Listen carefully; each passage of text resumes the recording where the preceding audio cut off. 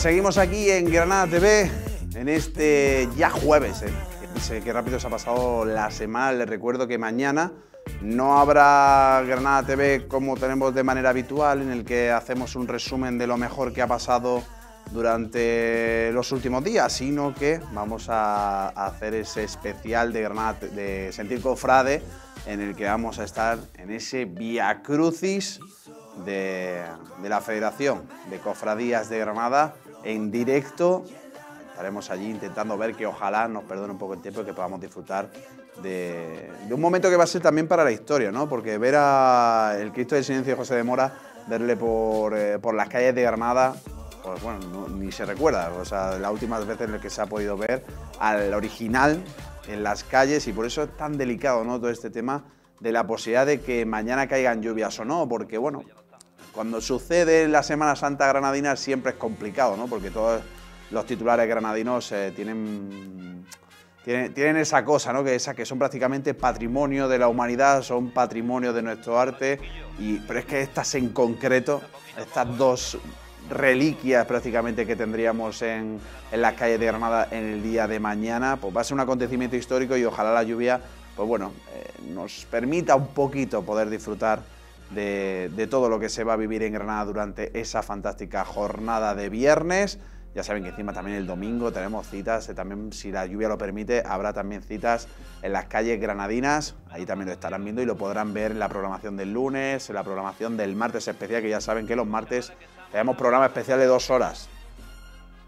Sentir cofra de dos horas de 9 a, a 11 de la noche tendremos esas citas especiales en las que, bueno, pues ya vamos acercando, vamos arrancando hojas en el calendario y nos vamos acercando a ese día tan especial.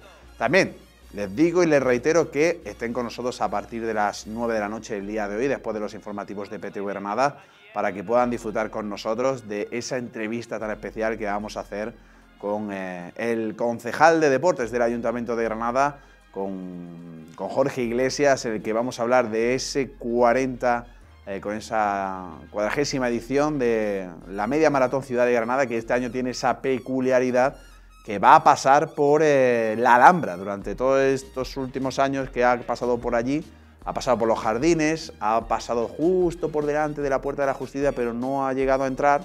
Y a partir de este año, ojalá sea así a partir de siempre, entrará por la Puerta de la Justicia, entrará por la Puerta del Vino y saldrá por la famosa puerta de los carros. Entonces, bueno, pues es algo histórico que se va a vivir porque estamos hablando de cerca de, mm, bueno, cerca no, va a superar los 5.000. Ellos esperan 5.500 corredores por la ciudad de Granada haciendo esos 22 kilómetros, esos 21 kilómetros que hace que la media maratón más bonita del mundo sea más especial todavía, si va a pasar por eh, el interior del castillo, de la Fortaleza Roja de la Alhambra. Así que bueno, que estaremos allí aparte con el concejal de deporte, porque queremos hablar, oye, de la situación actual del Nuevo Los Cármenes, de la situación actual del Palacio Municipal de los Deportes, qué va a pasar con el pabellón Mulacén, qué pasa con el complejo deportivo de Bola de Oro, que bueno, pues ya habrán leído informaciones durante estos días, habrán escuchado las noticias, en el que bueno, pues parece que va a haber una privatización por parte de ese servicio y bueno, pues algo que ha alertado ¿no? a los vecinos de la barriada cerca de Bola de Oro y que bueno, pues vamos a pedirle que, ponga las cosas, ¿no? Ya se ha ido dando informaciones a través de la Concejalía de Deportes, pero queremos escuchar de boca del concejal de Jorge Iglesias, pues que explique un poquito mejor la situación, para que la gente sobre todo se tranquilice, porque no creo que...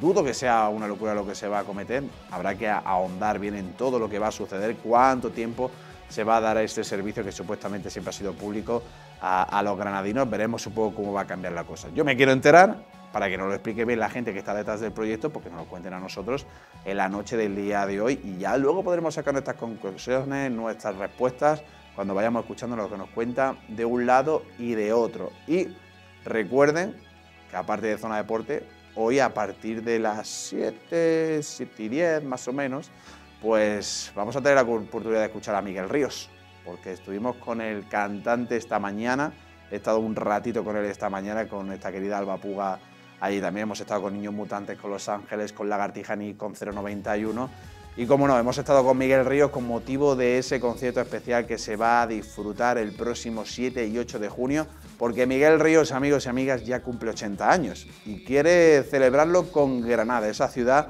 que en sus palabras tuvo que abandonar cuando era joven para, para, intentar llegar, intentar llevar sobre todo esa música, ese rock que tenía dentro, intentar llevarlo a todas las partes posibles. Y tuvo que abandonar Granada y en la entrevista es muy interesante porque me dice que en este concierto, que va a ser como un viaje por la historia de la música granadina, porque va a ser desde que él, Los Ángeles y demás empezaron a viajar por las carreteras intentando llevar el rock nacido en Granada hacia todos los puntos del país, pues cómo se ha ido creando poco a poco esa tendencia que ha conseguido hacer que Granada sea referente a nivel internacional y a nivel nacional del rock, una de las mejores ciudades para escuchar rock and roll de toda España, Granada siempre lo ha sido y siempre lo va a ser, aunque los sintetizadores y la música urbana llegue fuerte, las influencias son las influencias, amigos y amigas, y eso está clarísimo. Me ha hecho mucha gracia también una de las cosas, porque ha hablado Antonio Arias, el bajista y frontman de Lagartija Nick, todo el mundo lo conocerá por esa famosa obra junto a Enrique Morente, ese Omega, que bueno, pues se consiguió, que él decía que hay tres ríos en Granada, lo ha dicho en el día de hoy, lo escucharán en los informativos de PTV Granada Está el río Genil, el río Darro y el río Miguel, era ese tercero, ¿no? Por donde ha fluido toda la música de Granada durante 80 años y por eso pues vamos a poder vivir una jornada como el día de hoy. No sé si tendremos la oportunidad de hablar con la gente de Granada Coge, porque estamos teniendo problemas, estas cosas que pasan. Ustedes, yo, yo soy sincero, pues no quiero yo que ustedes piensen aquí que aquí estamos hablando por hablar. Nos ponemos a contar un poco lo que va a pasar durante esta semana en PTV porque hemos hecho antes esa conexión con la gente de la prueba que hacemos previamente y todo iba bien y ahora parece que ha habido un problemilla para poder hablar con Juan Manuel Pacheco, que es la persona que quiere estar con nosotros, y hablar de lo que, de lo que se está haciendo en esa Granada Coge. Y ya creo que lo tenemos, lo tenemos, no lo tenemos todavía, pues en el momento que, que podamos contactar con él porque nos apetecería poder hablar con ellos atentamente de todo lo que se va a vivir aquí en Granada TV, que nos cuente todo lo que vamos a poder echarles un cable, poder dar a conocer todo lo que va a ir pasando durante todo este tiempo eh, en esta organización, en esta ONG, que lo que hace es pues ayudarnos un poco ¿no? a abrir entre todos los brazos y que le echemos un cable a esa gente que viene desde fuera, esos inmigrantes, esa gente refugiada, esa gente que necesita un lugar donde se les pueda acoger y que podamos disfrutar también ¿no? de, esa riqueza que nos pueden traer ellos desde, desde fuera y que, bueno, pues que se sientan acogidos aquí en nuestra tierra. Más cositas que ya parece que lo conseguimos, están ahí a punto de conseguirlo, mi amigos. Las cosas de las tecnologías, como son. Eh? Fíjate que normalmente conseguimos que esto siempre vaya como fluido, pero por eso nosotros somos muy amantes de tener aquí a la gente en el plato. Nosotros tenemos aquí, siempre somos muy amantes de tener aquí a la gente en el plato de, de Granada TV, porque bueno, al final todo es más cercano, todo es más fluido y, demás. Así que bueno, parece que ya lo hemos conseguido, por fin. ¿Qué tal, Juan Manuel Pacheco? Muy buenas tardes, ¿eh? Hola, Tony, buenas tardes. Disculpen, disculpen los problemas técnicos que ha habido. Nada, está en la vida, la vida de la tecnología, ¿eh? que avanzamos y, y, a veces nos ponen una piedra. ¿Qué tal? ¿Cómo estás, Juanma? Pues todo bien, todo bien. Aquí estamos. Encantado de estar con vosotros y con vosotras. Granada Coge. Eh, Juanma, yo quiero que primero nos cuentes a la gente que nos está viendo ahora mismo qué es Granada Coge, por lo que tengo entendido desde 1987, echando un cable ¿no? a, todas estas personas que, vienen desde fuera y que necesitan ese primer abrazo, ese primer arropo y ese primer impulso para poder disfrutar de la vida que Granada ofrece con toda la garantía y derechos posibles. Así es, Tony. Bueno, Granada Coge nace, como tú bien has dicho, en 1987. Em, aquí en Granada, de pronto, pues un grupo de personas eh, se dieron cuenta de que había parte de la población que podía tener una serie de, necesidades, pues, personas extranjeras en su mayoría, que, bueno, pues eso, em, necesitaban un apoyo, un acompañamiento en un momento dado. Poquito a poco fue creciendo, eh, se fue profesionalizando y bueno, pues digamos que durante esta larga trayectoria eh, lo que hemos intentado es hacer esto, cumplir con esa función de ir, de, ir acompañando, atendiendo esas necesidades y, las circunstancias que han ido surgiendo por el camino, ¿no? Cuéntanos un poco todos los trabajos, todo lo que hacéis, porque yo sé que estás tú enfrente de esos proyectos de vivienda, pero ¿qué más se hace desde esta organización? Mira, pues Tony, nosotros desde Granada coge distintas áreas. Ahí están las áreas, una de digamos las más importantes es el área jurídica. Las personas extranjeras, una de sus principales necesidades, pues es todo lo que tiene que ver con la cuestión relativa a la parte legal, ¿no? De todo lo que tengan que ser cuestiones de permisos, de, de autorizaciones, de estancia, etcétera. Entonces, bueno, pues esa parte jurídica tiene un peso fundamental. Luego hay un área social, desde donde, como bien dices, pues se atienden necesidades que puedan tener que ver con cuestiones vinculadas a la vivienda, a, la cobertura de necesidades básicas, a la atención de distintas problemáticas pues, que tengan que ver como cuestiones relacionadas con la violencia de género, el tema de mujer, eh, bueno, variedad ¿no? en ese sentido dentro del área social.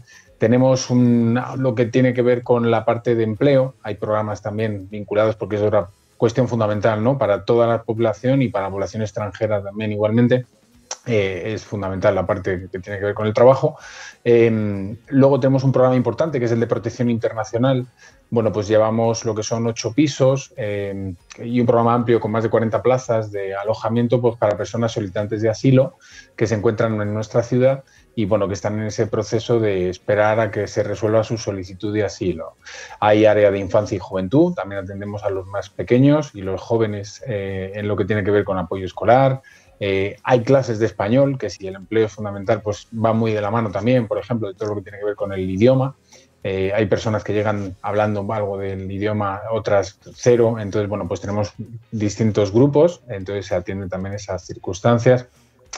Bueno, pues son eso. Hay, se intenta dar una, respuesta general. Luego, a lo mejor colectivos específicos. Trabajamos con jóvenes que han estado mm, siendo menores de edad eh, bajo la tutela del Servicio de Protección de Menores y que a cumplir los 18 años pues siguen necesitando ese apoyo, esa compañía.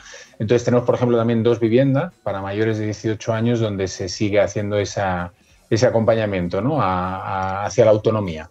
Entonces, bueno, eso por hacer un poco un resumen general son algunas de, de las actividades que llevamos en el, en el día a día. No está nada mal, ¿eh? No está nada mal el trabajo que realices de manera continua. Yo quiero preguntarte, como sé que no tenemos mucho, mucho tiempo, quiero también que nos digáis un poco los problemas con los que os estáis encontrando en estos años post pandemia para poder llevar adelante. Encima estamos también metidos en dos conflictos bélicos, que es algo que también hace mucho tiempo que nos sucedía muy cerquita de, de nuestra frontera. No sé, cuéntanos un poco ahora mismo con qué problemas estáis encontrando en el día a día para trabajar. Bueno, problemas son uno de los problemas que tenemos las ONGs eh, en general es muchas veces pues eso, lo que tiene que ver la, la financiación, eh, la financiación de las entidades sociales a veces pues eh, son más las necesidades que llegan que la disponibilidad presupuestaria, ¿no? De la que podemos disponer, la continuidad también de, a lo mejor estos proyectos, en tratar de, ofrecer respuestas que sean eficaces, ¿no? En, el tiempo.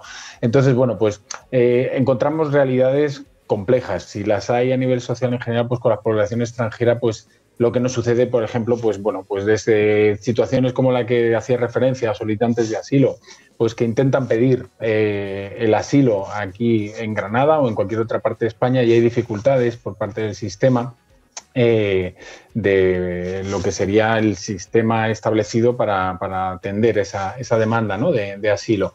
Entonces, bueno, pues hay una circunstancia que hace difícil que estas personas pues tengan una respuesta y puedan iniciar su proceso.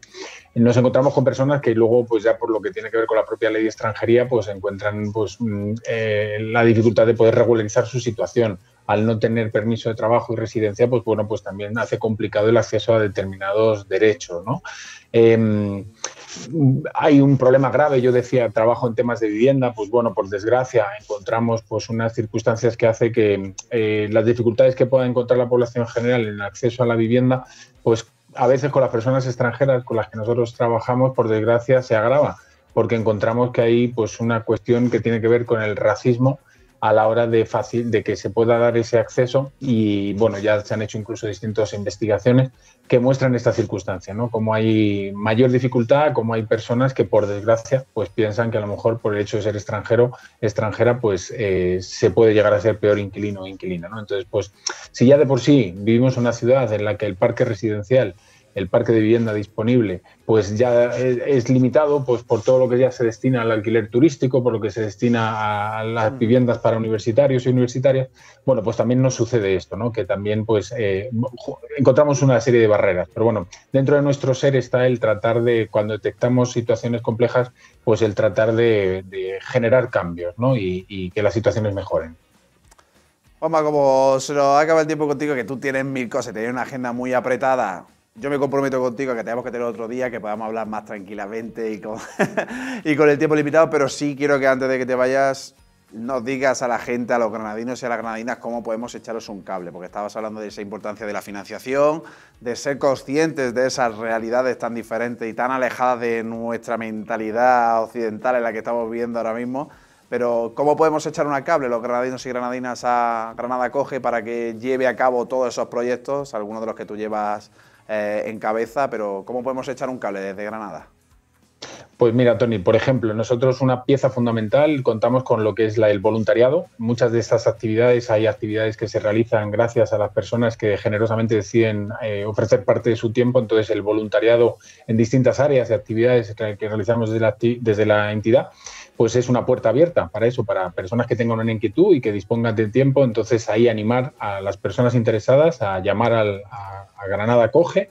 El teléfono es el 958 200836 en horario de mañana, en horario de tarde. Entonces ya puede ser una, una buena forma de, colaborar con la entidad. Se pueden hacer donativos, por supuesto, como cualquier otra entidad social, pues hay una vía también para poder hacer el donativo que una persona quiera.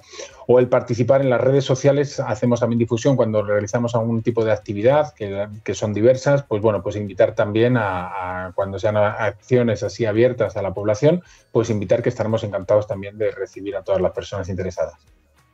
Pues ojalá esto sirva para que alguien pueda echaros una mano, que siempre va a venir muy bien, y ese compromiso que tenemos con estos fallos técnicos que hemos tenido entre las dos partes, que lo más seguro que es que en el futuro volvamos a juntarnos aquí de la mano, ojalá pueda tenerlos aquí, también a Marina darle un abrazo enorme, que también ha estado detrás de la gestión para poder hacer este buen rato aquí con vosotros y que tenéis las casas de PTV Granada abiertas, así que muy pronto te quiero ver aquí para que hablemos de todos esos proyectos que tenéis hacia adelante, para echar un cable, ¿no? que es lo más importante. Encantado, Tony. Disculpad de nuevo las circunstancias técnicas y, sí, ojalá podamos estar así en el plató, que siempre se sabe mejor. pues Juan Manuel, muchísimas gracias por estar con nosotros, muchísimo ánimo, muchísimas gracias por el trabajo que hacéis diariamente por, por, esas personas que necesitan, como decíamos, que abran esas manos. Así que muchísimas gracias por estar con nosotros. Y vamos a hacer una pequeña pausa para la publicidad. Hemos dicho esto, que ha tenido que ser un poquito más corto de lo que nos hubiese gustado, pero oye, cosas que suceden y que no pasa nada. Seguiremos detrás de lo que hace Granada Coge porque merece más que la pena. A la vuelta de la publicidad vamos a estar con el alcalde de Lachar para hablar de este municipio, que nos lo dé a conocer, qué cosas van a pasar en los próximos meses y que lo conozcamos un poquito mejor, porque hay sitios de nuestra tierra que no conocemos tanto y que tienen mucho que aportar. Nos volvemos aquí enseguida en Granada TV.